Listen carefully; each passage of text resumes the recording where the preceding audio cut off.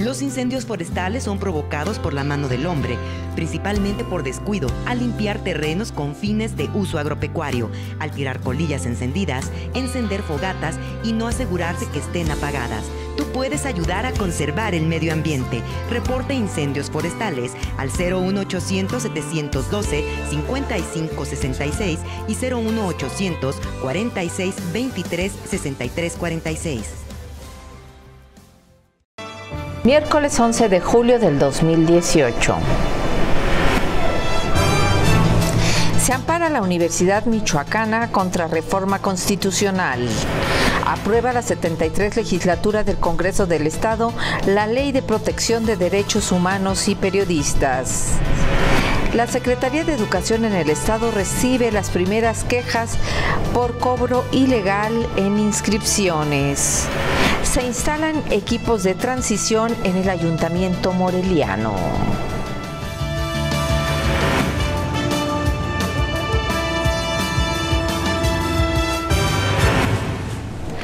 ¿Qué tal? Bienvenidos a Respuesta TV. Soy Laura López y les saludo con afecto a través de www.respuesta.com.mx desde Morelia, Michoacán, México. Y esta es la información que tenemos para usted.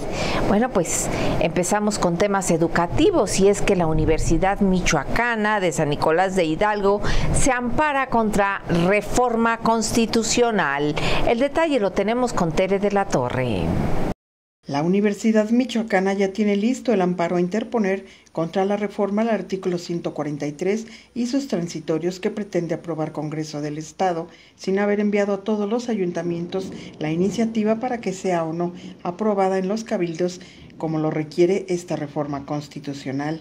Es la propia titular de la Secretaría Jurídica de la institución Nicolaita, la abogada Ana Teresa Malacara, quien está trabajando para elaborar ese recurso jurídico a interponer y presentarlo ante las instancias correspondientes de la justicia federal.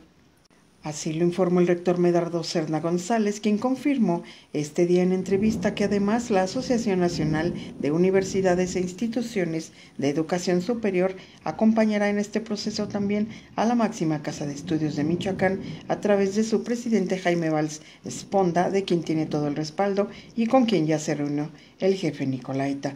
Dijo que hay el compromiso de dar apoyo y soporte no solo en lo moral, sino también en lo jurídico.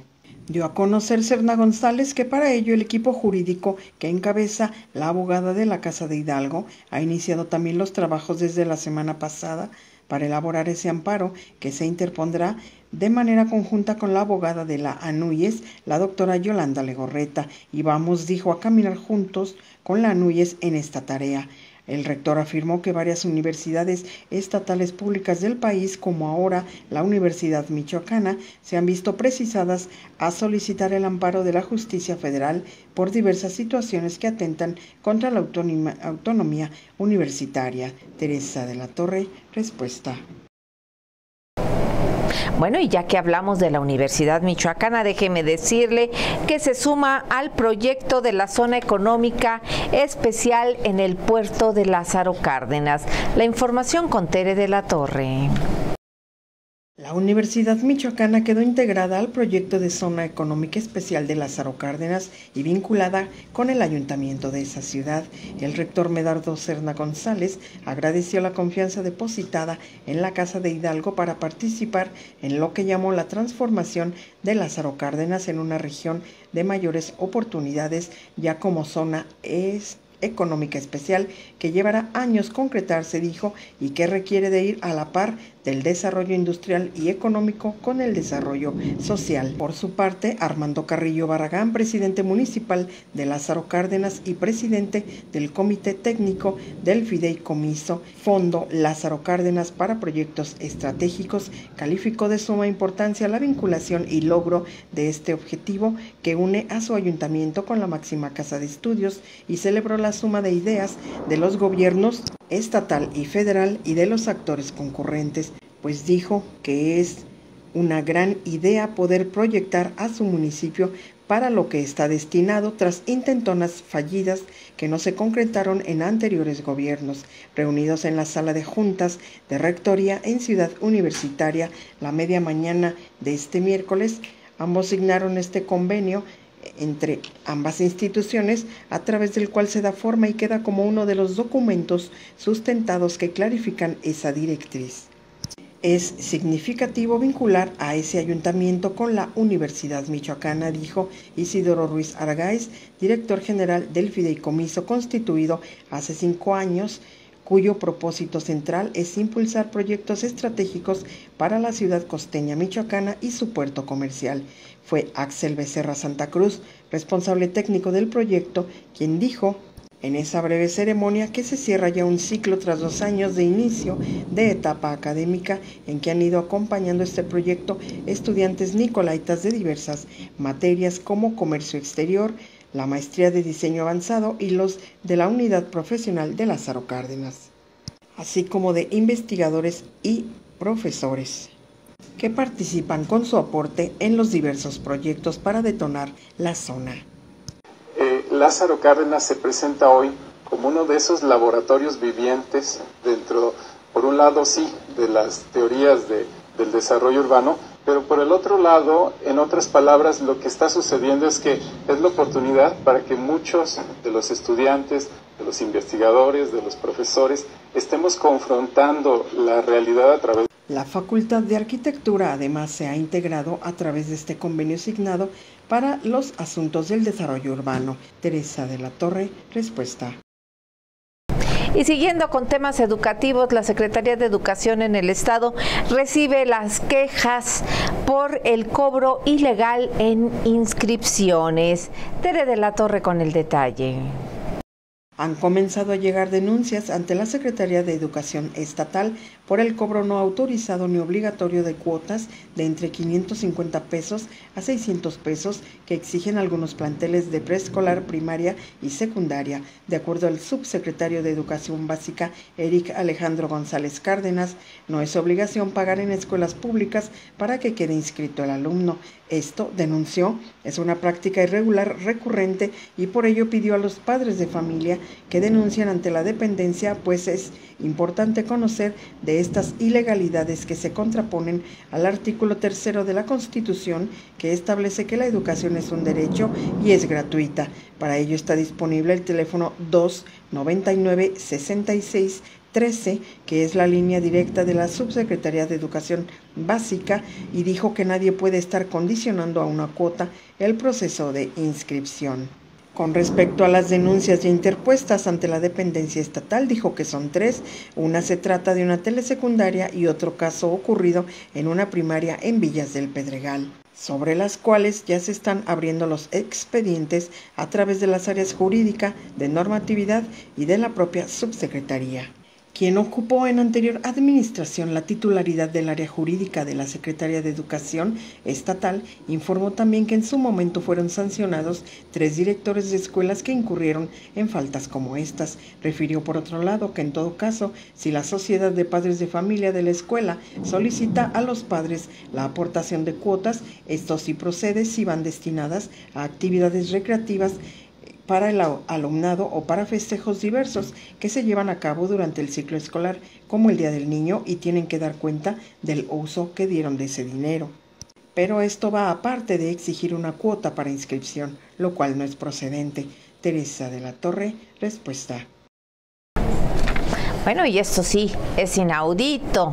La CENTE, la CENTE se queja por represión, según ellos, y descuento de sus salarios, pues ellos quieren seguir eh, con sus huelgas, con sus movimientos y que no se les descuente un peso. Pero vamos con Jessy Caguirre, que nos tiene el detalle se han detectado alrededor de 20 casos de represión y retención de salarios a los maestros por exigir sus derechos ante la Secretaría de Educación en el Estado, señaló Víctor Manuel Alvarado, titular de Asuntos Jurídicos de la sección 18 de la Coordinadora Nacional de Trabajadores de la Educación, CENTE. En rueda de prensa inquirió en que se vive un proceso de represión por parte de la Secretaría de Educación del Estado con temas irregulares que mantienen la propia instancia, lo que les impide que puedan levantar la voz a sus legítimos derechos como son el salario, las plazas o el poder manifestarse sin que haya represión por parte de la autoridad. En ese sentido, indicó que de enero a la fecha se han presentado cerca de 20 casos de suspensión de salarios u omisión de salario de maestros de diferentes partes del interior del Estado. Esto como represión administrativa que ejerce la autoridad educativa sin sustento alguno. Asimismo, acusó a la autoridad educativa de Michoacán el que no justifican las retenciones ilegales de salario de las que son víctimas los profesores que han exigido sus derechos ante la autoridad gubernamental. Jessica Aguirre, respuesta. En otros temas, se instalaron este día ya los equipos de transición en el ayuntamiento moreliano. La información es de Carla Ayala. Comenzó la transición de gobierno municipal de Morelia luego de que los equipos de entrega-recepción fueron presentados con la finalidad de que ambos gobiernos realicen el cambio sin sobresaltos ni afectaciones para la sociedad moreliana. En la sala de Cabildo, el presidente municipal de Morelia, Alfonso Martínez Alcázar, recibió al presidente electo Raúl Morón Orozco, ambos acompañados por los encargados que entregarán y recibirán las funciones del ayuntamiento capitalino. Durante la intervención del próximo presidente municipal de Morelia, prometió que la brecha de aprendizaje será corta. Por eso aceptará los proyectos y programas que fueron exitosos en el gobierno independiente, así como las ideas de todos los morelianos, las cuales usará para construir el Plan de Gobierno Municipal 2018-2021. Carla Yala, respuesta. Y la CEMIC, bueno, pues la CEMIC busca sumarse a proyectos de obra de alcaldes electos. La información con Jessica Aguirre. La Cámara Mexicana de la Industria de la Construcción, CEMIT, realizó la invitación a los candidatos electos de Michoacán a participar en los proyectos ejecutivos que incluyen bacheo y protección civil para los municipios. En ese sentido, el presidente de la Cámara de la Construcción en Michoacán, Antonio Macier, señaló que se están poniendo a la orden para trabajar con todos los candidatos electos y ya implementaron el aportar el punto ciento de millar de las facturas que cada empresa adherida a la CEMIT realice para procesos ejecutivos que se sumará al fideicomiso de proyectos FIDEPROI. Asimismo, destacó que el FIDEPROI constará de 8 millones 200 mil pesos de capital y solo están a la espera de que los alcaldes decidan participar en los proyectos ejecutivos en donde se incluye la reconstrucción de caminos, apoyos a mercados, además de proyectos relacionados con protección civil y de bacheos, donde los costos serán variables dependiendo del tipo de terreno. que señaló que espera que al término del año se logren generar 25 millones de pesos para que se logre potencializar la mayor cantidad de proyectos ejecutivos. Por último, invitó a los alcaldes a trabajar juntos en una agenda en común. En este caso, ya han platicado con el candidato electo de Morelia, Raúl Morón, donde han planteado los proyectos referentes al bacheo, donde tienen un nuevo proyecto que incluye el utilizar caucho como adherente, lo que tendrá mayor durabilidad. Jessica Aguirre, respuesta. El día de hoy hubo sesión en el Congreso del Estado y la 73 legislatura, bueno, pues aprobó la ley de protección de los derechos humanos y periodistas. Ahí estuvo Alejandra Martínez. Sin la participación de los propios comunicadores y a bote pronto, este miércoles el Congreso del Estado aprobó en sesión ordinaria la Ley para Protección de Personas Defensoras de los Derechos Humanos y Periodistas. Patricia Monreal Vázquez, periodista que ha encabezado las movilizaciones del gremio en Michoacán, calificó dicha ley como corta y lamentó que haya sido aprobada a bote pronto por la 73 legislatura. Lamentó que cuestiones como la propia protección a periodistas para el cumplimiento de su labor, tales como las grabaciones que realizan, se encuentran fuera de la citada ley. Monreal Vázquez declaró que aunque dicha iniciativa no tiene avances en la materia para la protección del gremio, tampoco representa un retroceso en la materia. Manifestó que ahora corresponderá al gremio periodístico de Michoacán continuar con la lucha para perfeccionar la ley o conformarse con la aprobada por la 73 legislatura. Pasemos al comentario de nuestro director general Jaime López Martínez. Hola, ¿qué tal? ¿Cómo están todos ustedes? Un saludo afectuoso en este miércoles aquí desde Morelia Capital. Eh, hay un tema que se ha quedado por ahí olvidado, rezagado en el Congreso del Estado. Yo no sé si intencionalmente o no, pero el caso es que está en la congeladora y es el que tiene que ver con la designación del fiscal del sistema estatal, del, Contralor, más bien dicho, el Contralor del sistema eh, eh, estatal anticorrupción. Hace ya varios meses que el comité eh, seleccionador del propio sistema, del cual su servidor forma parte, pues se envió la terna, que por ley estábamos obligados a hacerlo, al Congreso del Estado para que el Congreso designara de entre esa terna, pues al eh, la persona que fungirá como contralor del sistema estatal anticorrupción, una figura importante en el mecanismo y el funcionamiento del sistema porque, bueno, pues es el que tiene que supervisar todo el manejo administrativo de recursos, recursos presupuestarios, de recursos humanos y demás. Eh, pues es todo lo que hace pues eh, un, eh, un, funcionario de, de este, de, este tipo, un contralor, y verificar que se cumplan programas, en fin. No ha podido ser designado pues porque en el Congreso del Estado está ahí durmiendo el sueño de los justos, digamos, esta iniciativa, ya en comisiones que son las de gobernación y las de puntos constitucionales, pues ya se trabajó con esta eh, propuesta que le hicimos llegar, ya ahí sí se cumplió, digamos, los integrantes de estas comisiones sí cumplieron su labor y, y, generaron una iniciativa que turnaron, porque también por ley lo tienen que hacer así, a la Junta de Coordinación Política. Ahí sí, pues ahí hasta ahí se acabó todo, porque en la Junta de Coordinación Política eh, pues ya se frenó todo. Este, este organismo, esta Junta está integrada por los líderes de cada bancada más el presidente del Congreso, es decir, son los eh, meros meros del Congreso, vamos a llamarlo así coloquialmente, son los, los que tienen el control, los jefes de las bancadas, pero paradójicamente pues es el grupo más inoperante, el más ineficaz, el más eh, improductivo del Congreso del Estado, ahí todo es, todo se politiza, los señores diputados anduvieron cosas, anduvieron viendo cosas que tienen que ver con elecciones de sus partidos todo el primer semestre del año, han desatendido completamente sus funciones como diputados, eso sí, cobrando religiosa y puntualmente su salario, su super salario cada quincena, pero desatendiendo completamente al Congreso. Y entre otras muchas de estas desatenciones está justamente la de designar al, al Contralor y bueno, pues en ese sentido, la verdad es que eh, muy lamentable esta situación, esta indiferencia, este desinterés, porque el sistema estatal anticorrupción no está completo, está como una, digamos, es como una mesa con nada más una o dos patas, pues en cualquier momento se puede caer, porque, repito, ha habido, ha habido una apatía, un desinterés total de los diputados por este tema y pues no se ve que ni siquiera lo tengan en la agenda próxima, ya está en su parte final esta legislatura la 73.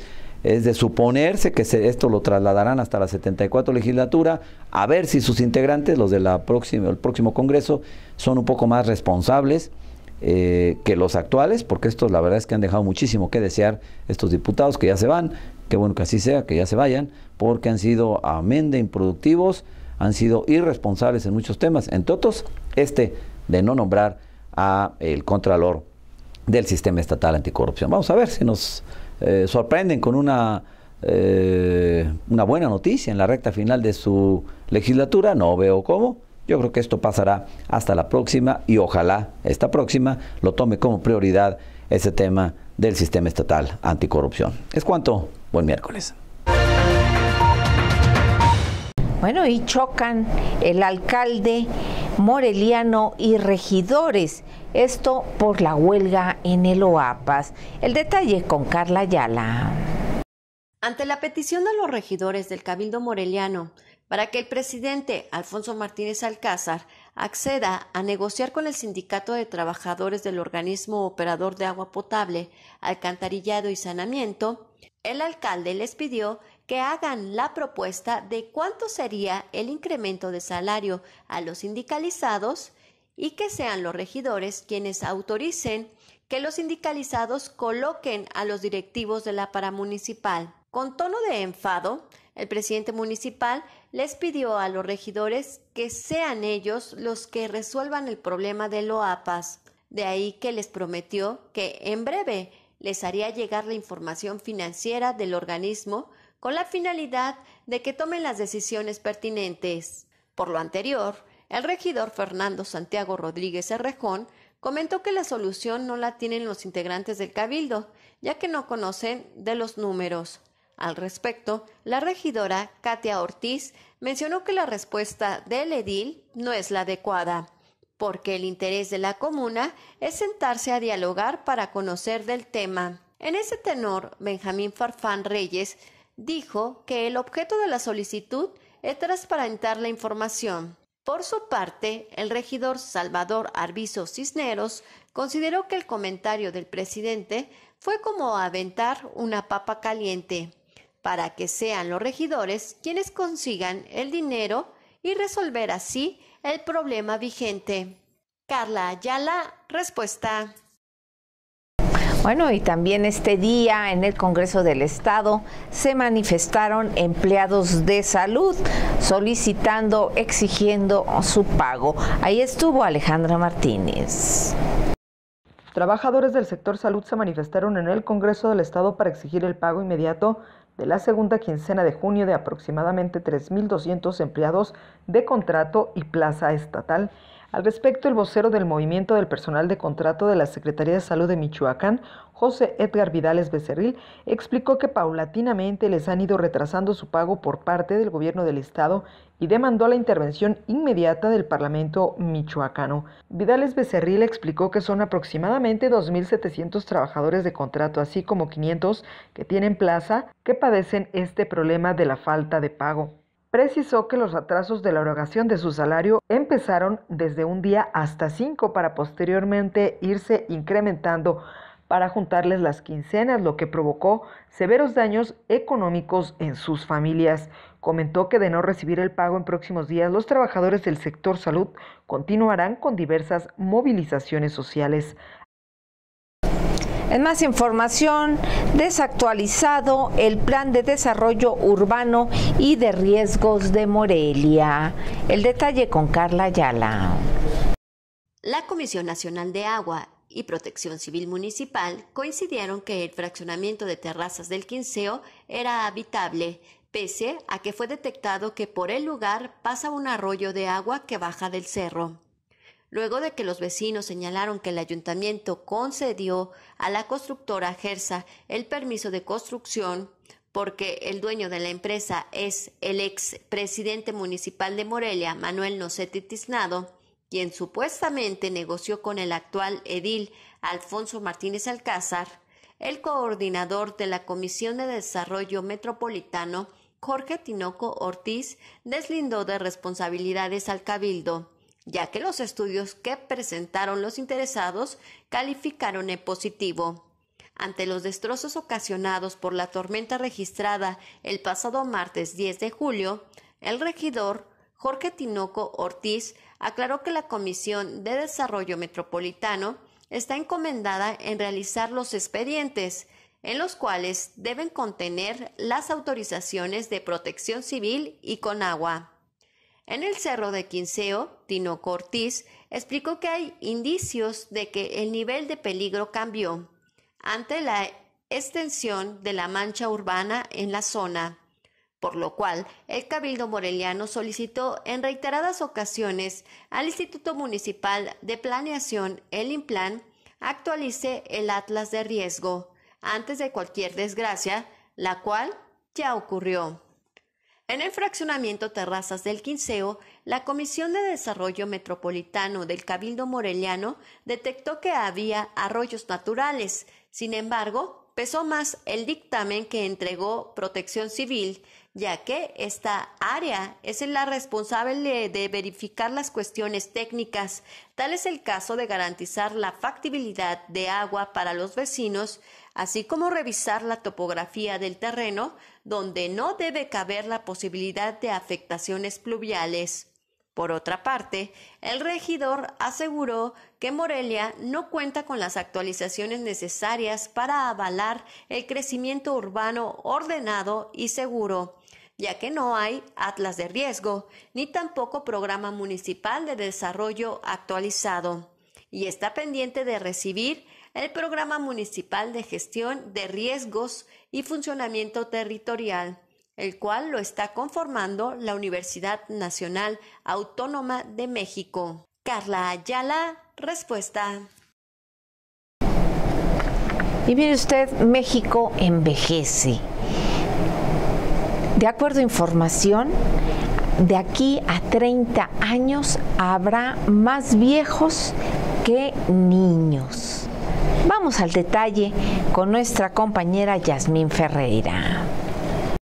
La tendencia de la población mexicana en 30 años será a envejecer y, por el contrario, a no crecer, advirtió la directora del Consejo Estatal de Población, Elizabeth Juárez, aun y cuando México y la entidad se mantienen en un rango del 10% de su población mayor. En unas tres décadas se incrementará y disminuirá la población infantil y juvenil. El país se convertirá en pasivo y con los propios temas de la senectud que atender como la salud, prestaciones laborales, jubilaciones y una disminución en la actividad económica. Al conmemorar el Día Mundial de la Población, la funcionaria refirió que el envejecimiento de la población mundial avanza en tres etapas geográficamente. Asia está en su etapa final. Sus habitantes son mayores y pocos son los jóvenes. En el caso de los países de Europa, avanza a un 25% de su población vieja y Latinoamérica oscila entre el 10 y el 15%. Consideró que en el marco de la celebración se debe de sensibilizar, reflexionar y actuar respecto a los problemas que enfrentará la población nacional con más años de experiencia, pero menos productividad. Yasmin Ferreira, respuesta. Y se encuentra ya en puerta la Feria de la Guitarra. Ya Paracho se prepara para estar de fiesta nacional. Jessica Aguirre con la información. El municipio de Paracho se vestirá de fiesta entre guitarras, globos de cantoya y juguetes tradicionales del 4 al 12 de agosto. En ese sentido, el presidente municipal de Paracho, José Asensio Campos, refirió que la Feria de la Guitarra se realiza para fortalecer las actividades que se realizan en el municipio de Paracho, por lo que realizó la invitación a la población para que asistan a esta feria donde habrá desfile de oficios, además de una amplia muestra gastronómica, así como el concurso de elaboración de globos de Cantoya, el concurso de flor purepecha, así como conciertos donde el elemento principal será la tradicional guitarra de Paracho. Por su parte, Castor Estrada, subdirector de comercialización del Instituto del Artesano Michoacano, resaltó que todo lo artesanal está estrechamente relacionado al turismo en Michoacán, por lo que, como marco de la Feria Nacional de la Guitarra, se estarán realizando dos concursos artesanales, como la edición 44 del concurso de constructores de guitarra. Así también se realizará el 25 concurso de juguete popular. Cabe destacar que ambos concursos se realizarán en la Casa de la Cultura del municipio de Paracho, donde se tendrán las artesanías en exposición y venta del 4 al 12 de agosto. Por último, la tercera edición del Festival Internacional Fiesta y Color de Globos de Cantoya se estará realizando del 27 al 29 de julio en el municipio de Paracho, con países invitados como son Colombia y Brasil. Jessica Aguirre, respuesta. Le agradezco el favor de su atención a este resumen preparado por el equipo de respuesta. Lo esperamos en nuestra siguiente emisión. Hasta entonces.